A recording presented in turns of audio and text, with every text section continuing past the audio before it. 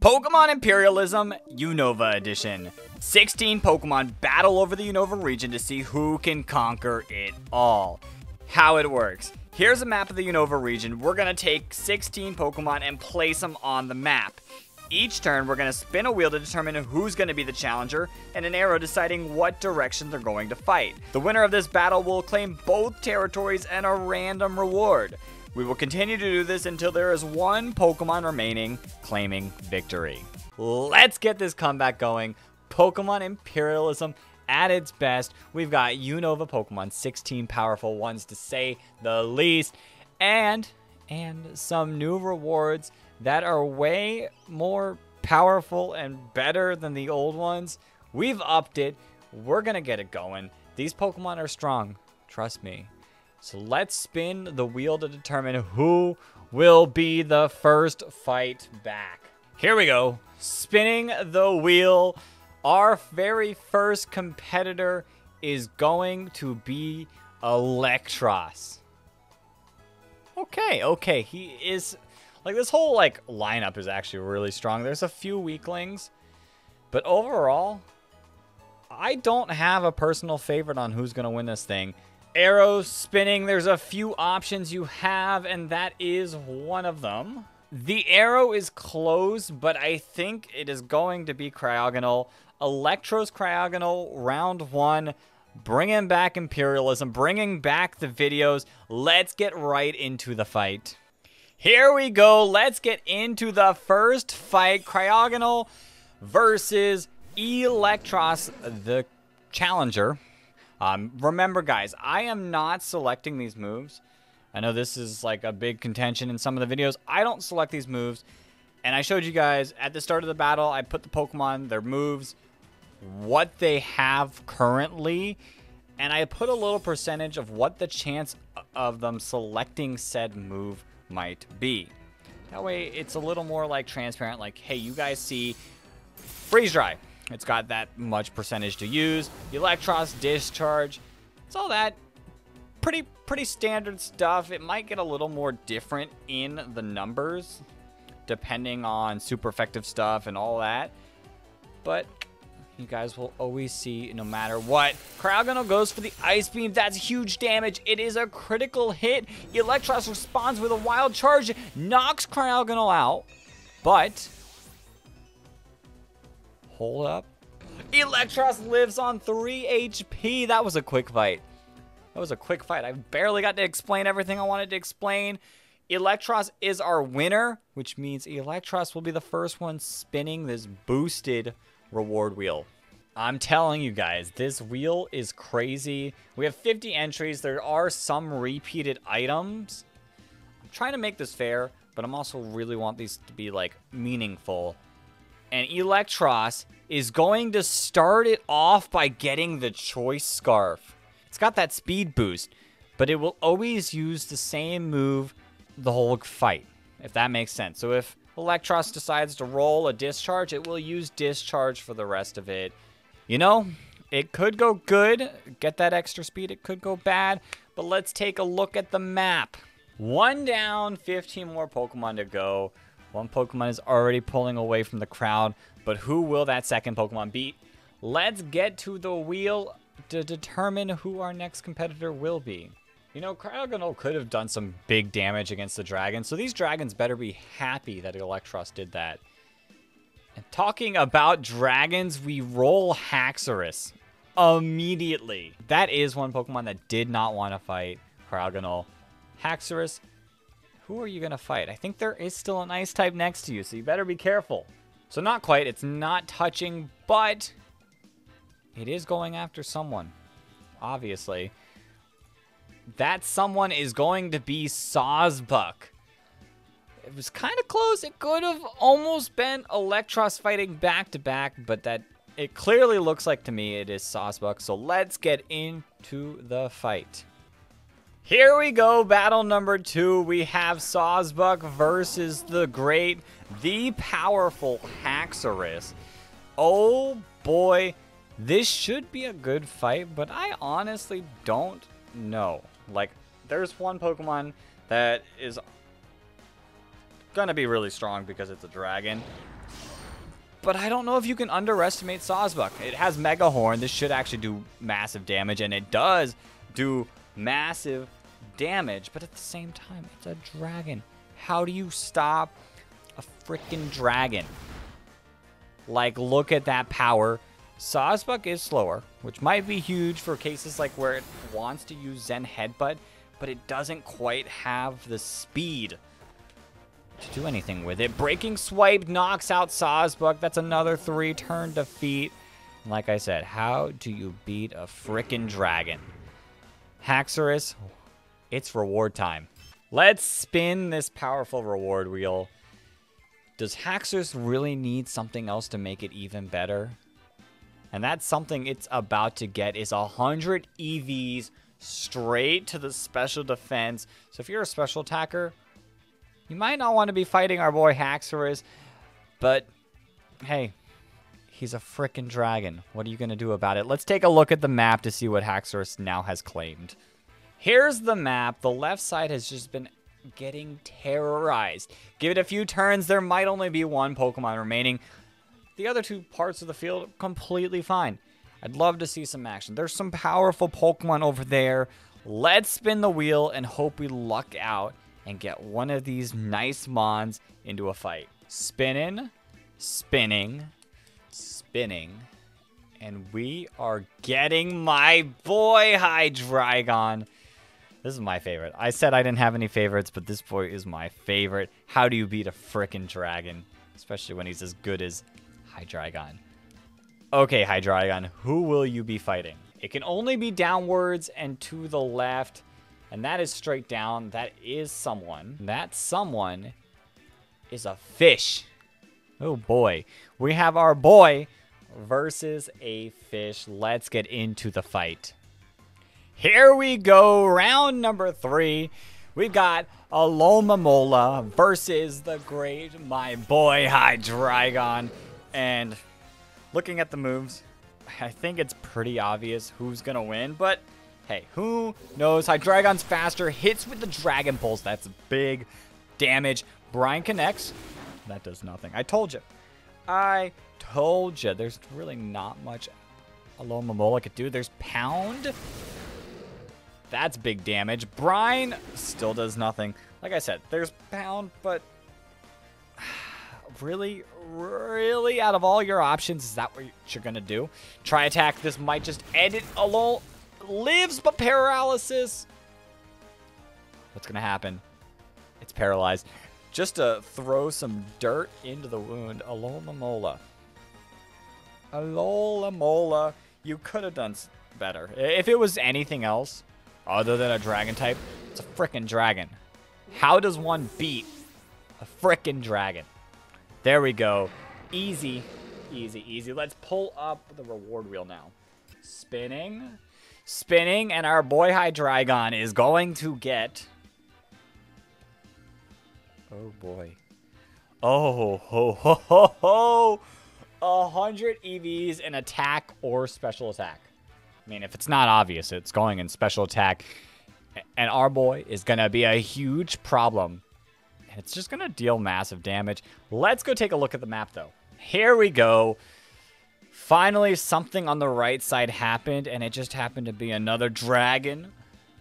But, there are still many options. We still have 14 Pokemon left, so let's get to the wheel to determine the next fighter. Spinning. I'd like to see some action in the middle, but more action in the right is not, like, I'd be fine with that.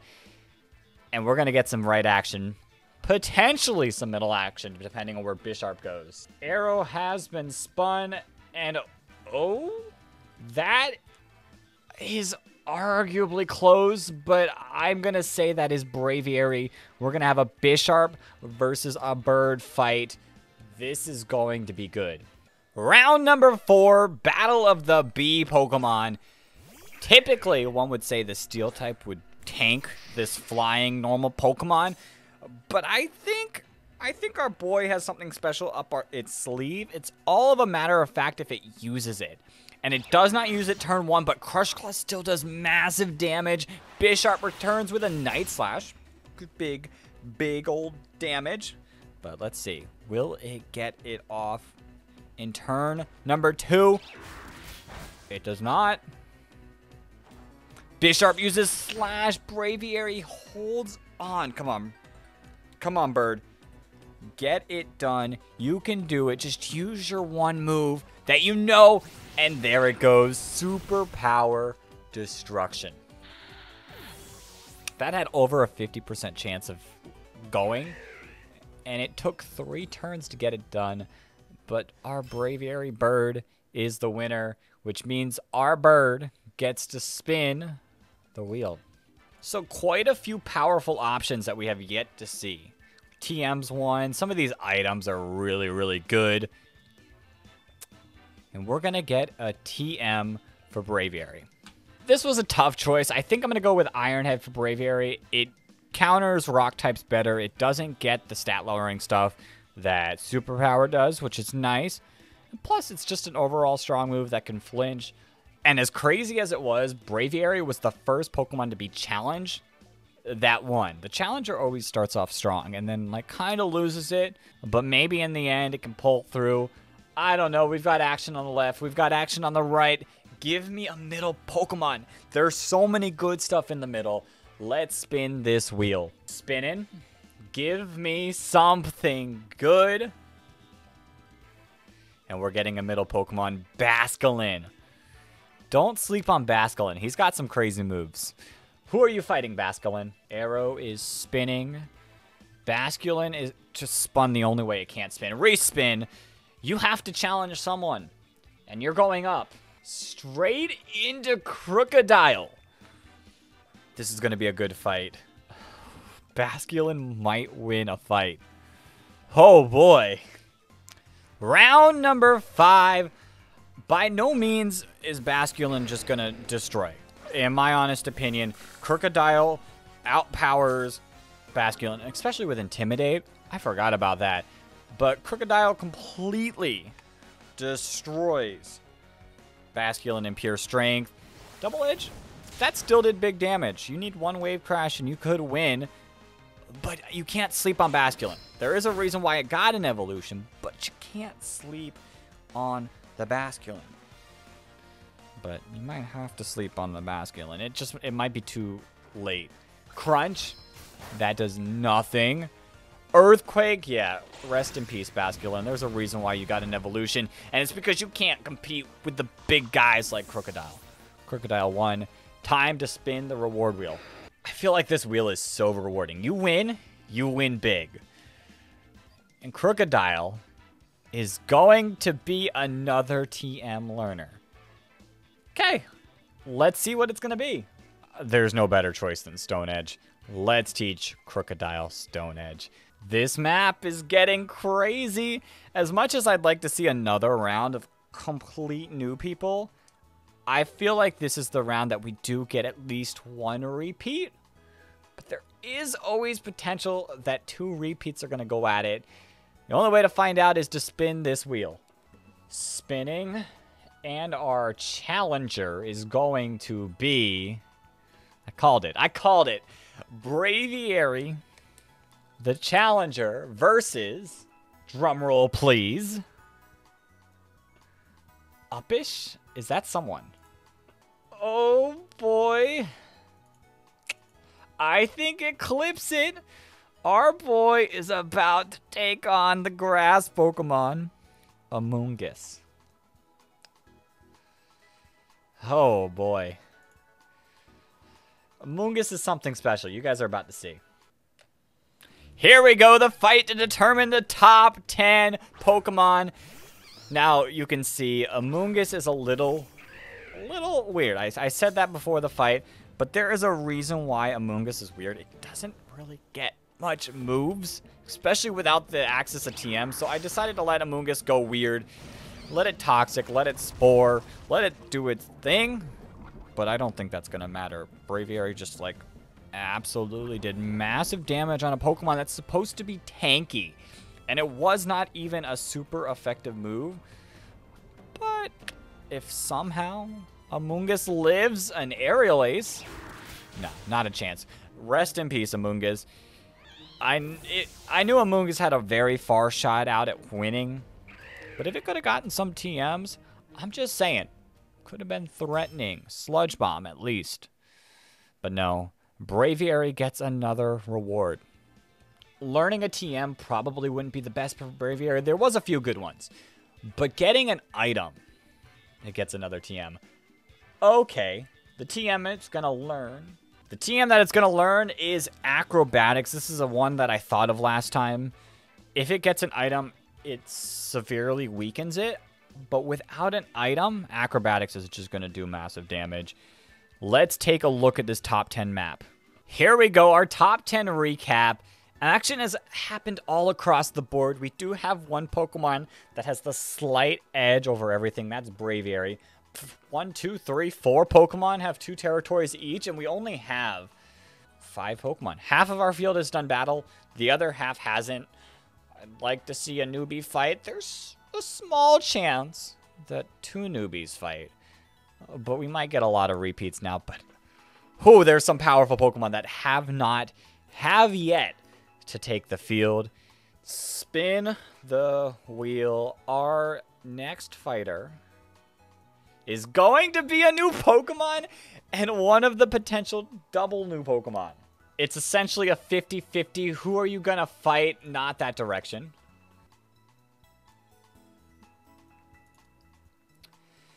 Okay, not quite a psychic. It's to be a repeat of Hydreigon.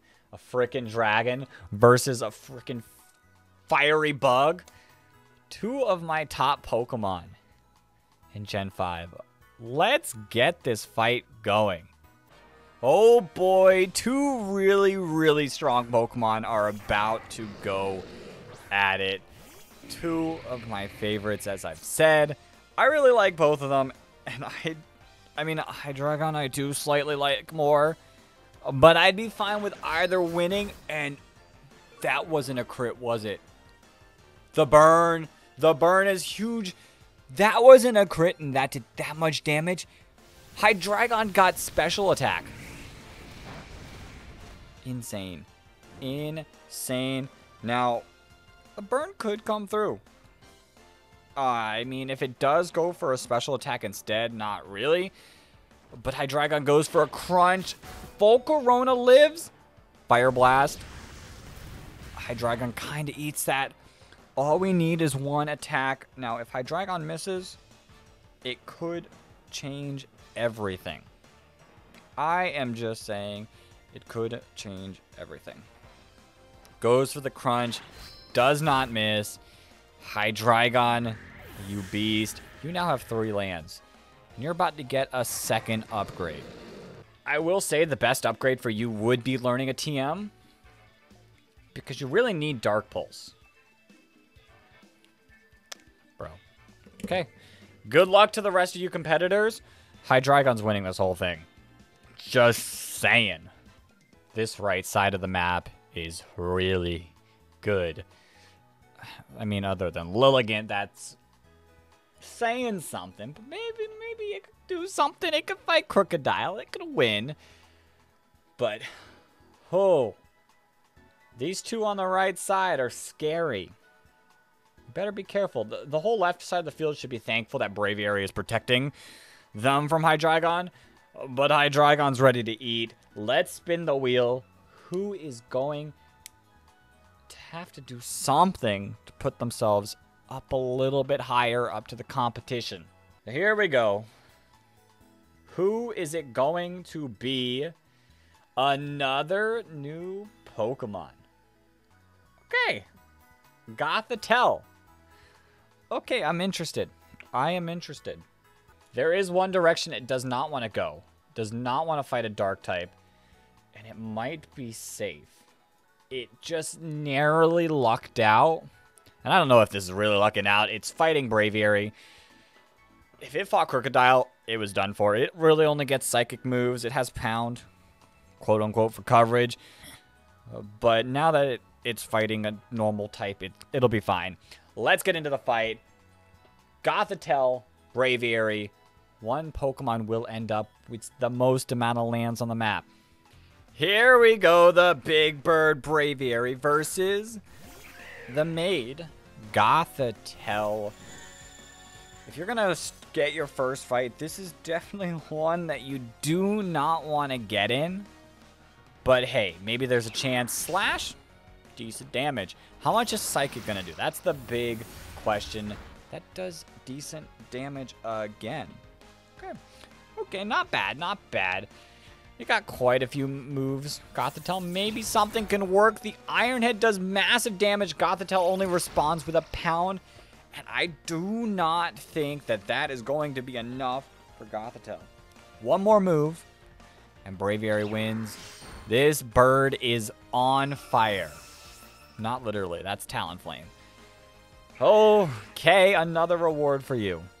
Braviary's been stocking up on TMs. EVs, an item, probably not an item. You don't really want an item. You're getting another TM. It's going to take a minute. I'm not sure what you want. What would you replace? I guess close combat over superpower so you're not losing attack if you happen to use that earl earlier in the fight. It's pretty much an even trade, but I would say close combat slightly better. Here's the map. We have half the amount of Pokemon remaining. Almost all of them, not almost all, I guess most of them technically have done a battle. We still do have three left. I'd love to see Beartic go out. Not not lose, but like come out and fight, maybe against Haxorus. I'd like to see Zoro come out, maybe take on the big boy, the big bird, and Lilligant. I don't know what I'd want you to do. You have a slim chance of facing Krookodile, then that'd be your best bet. Sorry, it is what it is. Let's spin the wheel. Who will be fighting? Wheel spin. Eight Pokemon to choose from. And it's not to be quite Beartic. But it is to be Haxorus. Haxorus, who are you to fight? Haxorus does not have a chance to fight Beartic, even though they are touching. It does not arrow-wise line up well. And why do you keep spinning after things that you cannot fight? Actually, I think that's close enough to say it will be fighting the bird. The bird fights again. Here we go, round nine, possibly the most important fight so far. Braviary, Haxorus. Braviary could get just completely so much stronger. But the winner of this, regardless of who, will get five lands. Massive. Haxorus goes for Breaking Swipe. Not too much damage, but the attack fall. Could that be something? Acrobatic still does massive, massive damage. That's insane. That's insane. Haxorus goes for the breaking swipe again. Still very small damage. It's kind of surprising. I feel like Haxorus should be stronger, but that is taking a toll on our boy Braviary. It's just not doing as much anymore. Haxorus goes for the crunch. Braviary lives. Can you do something? One last shot. 4 HP. No way. Did Haxorus just win because of 4 HP? As long as you don't somehow miss your move here. Slash. Haxorus is now the current ruler of so much land. Honestly, I don't know what Haxorus wants. There's probably a few things. EVs, TM, items, everything really could be big. And that's a rocky helmet. Interesting. Got the boosted special defense. Now, if it takes hits on the physical side, it will be dishing back free damage. That could do something. I don't know. I don't know. Let's go take a look at the map. Oh boy, the landscape sure has changed. We now have two dragons side by side. That could be an insane fight. Only if they attack each other, though.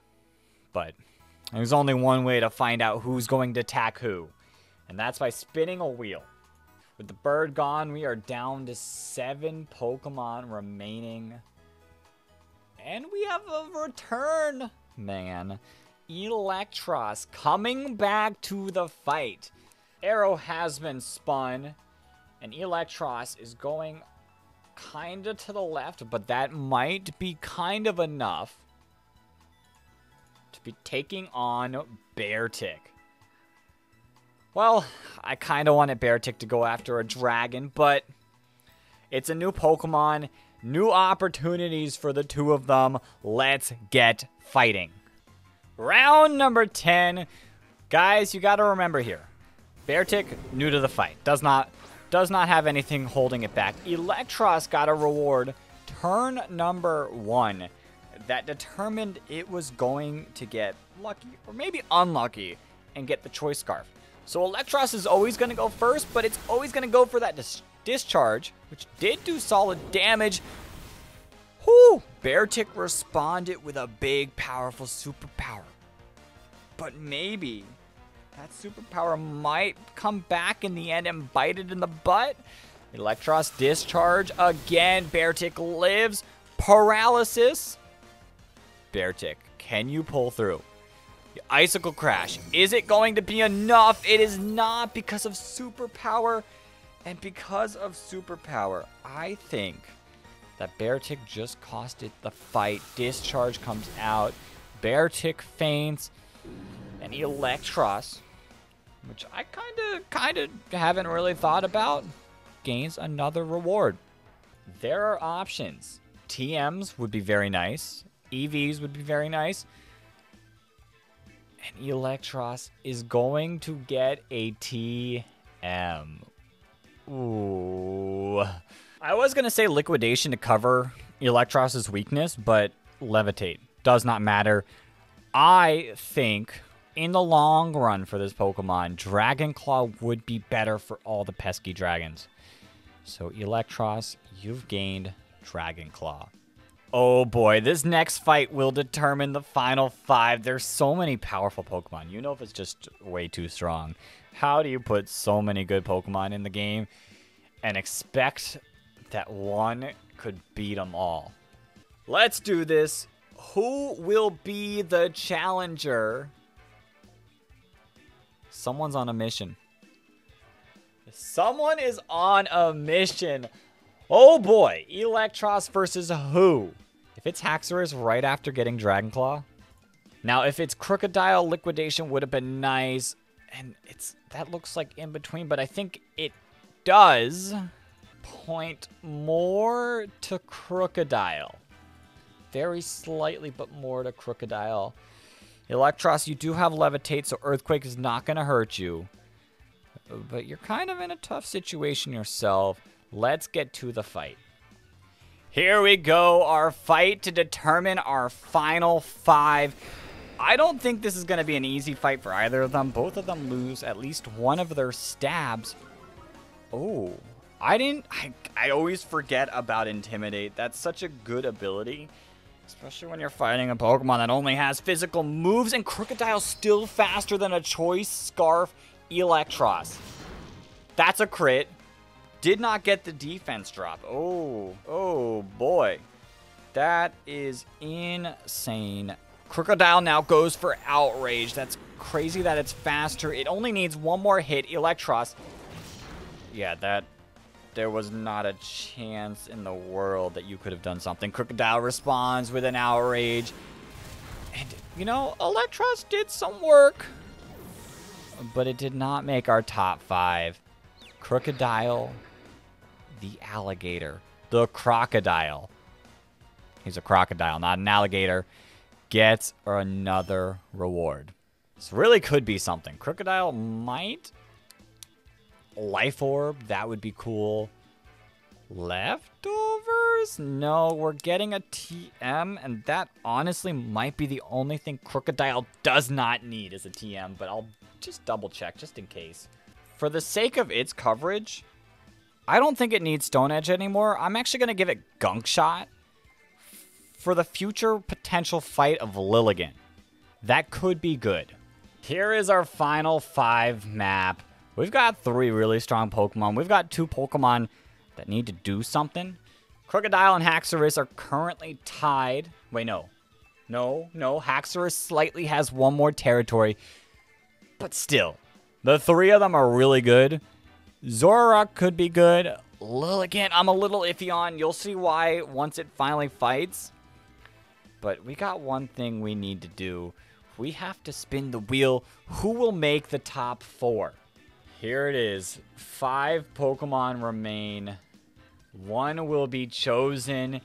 And now Krookodile. He's on a mission. There's two Pokemon it could fight. One is a newbie. One is an old friend, and that might be the old friend. It is indeed Krookodile versus Haxorus, the two leaders of the board going at it. One will remain. Two monsters are about to go at it. Haxorus holding the Rocky helmet, Krookodile rocking the Intimidate. This fight is going to be close. I think this fight could be extremely, extremely close. You know what would make it closer? If Rocky Helmet also procced when the Pokemon was using their move, Gunk Shot. Solid damage. Slash. It's a critical hit. That's why it still did solid damage, even with the Intimidate. That's, that's kind of what Krookodile's got going for it, is Intimidate. And Earthquake just does it. Krookodile is currently the champion of everything, ruling the whole land. I thought that fight was going to be close. It didn't even proc the Rocky Helmet. Oh, jeez, Krookodile, and you're going to get another reward? What is going to happen? Who is our best opportunity at this? Oh, boy. The reward wheel giving Krookodile something else that it does not need. If it's a TM, that could be... Oh, no. Oh, no. Oh, no. 100 EVs and attack. Rest in peace, everyone. Just give it to Krookodile. I said Hydreigon earlier, but just give it to Krookodile. Let's go take a look at the map to see where there's potential. So Krookodile's probably going to fight in this fight. We're down to four Pokemon remaining the winner of the next fight will make the top three, which is crazy. And Krookodile might have to fight in it. I the best opportunity for everyone. Hydreigon maybe. Uh, Lilligant, if you want to win, maybe wait until Krookodile takes everyone down and then get your like final swipe. Like, ha! I don't know. Let's see who will be fighting in the top four fight. Here we go. Four Pokemon, four options. And our fighter is going to be Lilligant. Oh, boy. Oh, boy. There is a chance Lilligant fights Krookodile. But out of the three other ones, it's probably the smallest. We've got this arrow spinning. It will determine who Lilligant fights, and that's no one. JK, never mind, that is Hydreigon. I guess if you're not going to take Krookodile down yourself, maybe make Hydreigon stronger. Okay, you guys are about to see why Lilligant does not stand a chance. Time for the worst Final Four fight ever. As you can see, Lilligant gets no... Like, it just gets trash moves. All grass. Like, there really wasn't anything I could do about it. Because believe me, I looked. I wanted Lilligant to have something. Like, why couldn't you get, like, I don't know. I don't know, anything. Maybe a fairy move? Like, anything? But no. It really just was, like, lackluster. And Hydreigon, you almost do it. What was that animation? It wasn't anything. Petal Dance, you know, actually isn't bad damage if I'm being completely honest, if this was like anything other than Hydreigon, you could have done something and maybe got a TM and it would have boosted you. But Lilligant, you waited way too long. You fought the wrong Pokemon if it was Krookodile. That could have been crazy. But Hydreigon has made it to the final three with Crook and a Pokemon that's done nothing. Let's take a look at the final three map. Okay, here we are. We're really favoring like reddish, purplish, pink colors. It's kind of wild, but like, look at all three of these Pokemon. They're all pretty strong. One hasn't fought yet, and I think the one that hasn't fought yet is probably the weakest of the bunch. They're also all dark types. It's pretty crazy. Let's see who is going to have to fight their way into the final two. I'm hoping it's the newcomer, but maybe he'll luck out and just sneak his way on in. Three Pokemon remain. And our challenger of the final three is going to be Hydreigon. My boy. And actually, I forgot to spin his reward wheel. How could I? How could I forget that? Spinning this wheel. Hydreigon gets a reward of... Oh, jeez. Oh, jeez. It's already fast. I mean, Choice Scarf's not going to do much other than lock it into one move. Which could be a benefit. Well, I, I, I mean, maybe Krookodile's pretty fast. This Choice Scarf, eh, Zoroark's pretty fast too. Maybe this Choice Scarf does something, and maybe it locks it into Dragon Pulse. Something good. Okay, Hydreigon, who are you fighting? Actually, upon further inspection, you can only fight Krookodile. Like, Krookodile perfectly protects Zoroark from not being able to be hit. We're getting a Battle of the Beast in the final two, and some Pokemon lucked out and made it to the final two without doing anything again. Again. Crook, Hydreigon, let's get this going. Okay, the final three fight, and truly, these two Pokemon have gone crazy the whole time, and they both deserve to be in the final two, but luck didn't give us that battle. Intimidate does not work on Hydreigon, I will say that, but Hydreigon is going to be locked into whatever it selects here, and it chooses Hyper Voice. And that didn't really do too much, and Krookodile responds with an Outrage. Hydreigon lived? Hydreigon lived? Hyper Voice did not do enough, and Outrage is coming. And rest in peace, Hydreigon. Dang. That's my boy, and he made it to the top three. Good job. Krookodile's confused. If it could have lived one more, there was a chance, but you, know, you can't, with a dragon move, what are you going to do to stop it if you're a dragon? But there we go. Krookodile has cemented himself into the top two versus the Pokemon that has yet to do a single thing.